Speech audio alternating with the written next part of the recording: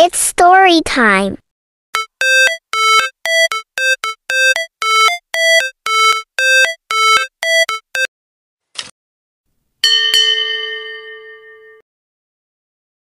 Once upon a time, there was a young boy named Tom who loved adventure.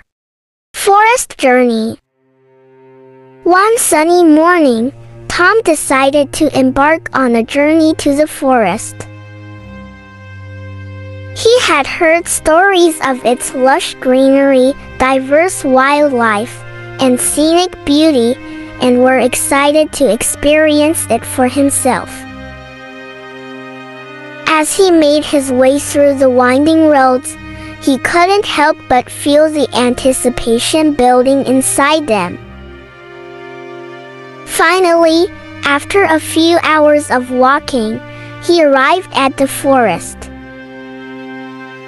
The first thing he noticed was the fresh scent of pine trees and the sound of birds chirping. He set out on a hike admiring the tall trees and the way the sunlight filtered through the leaves. He came across a stream and decided to take a break and dip his feet in the cool water. As he continued his hike, he saw all kinds of wildlife, from colorful birds to playful monkeys swinging through the trees. He also discovered hidden waterfalls and breathtaking views of the surrounding landscape. As the day drew to a close, he set up camp near a small lake. He built a fire and cooked dinner over it. He fell asleep under the stars, feeling content and grateful for the adventure he had just experienced.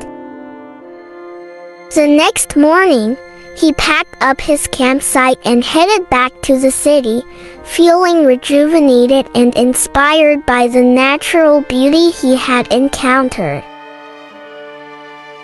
He knew he would always cherish the memories of his journey to the forest.